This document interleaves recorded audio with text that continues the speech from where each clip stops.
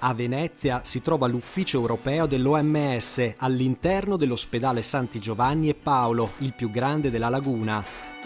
Qui, al primo piano di questo palazzo, è stato redatto il famoso report censurato dall'OMS, quello sulla risposta italiana alla pandemia di Covid-19. Sono un giornalista e sto ricostruendo un po' tutta la vicenda che ha riguardato anche Francesco Gambone.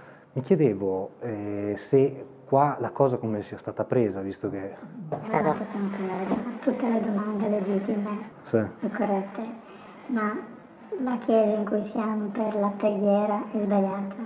Io non posso, non, non ho il diritto di riaprire il discorso perché lavoro con... C'è un limite dove si può andare e non si può.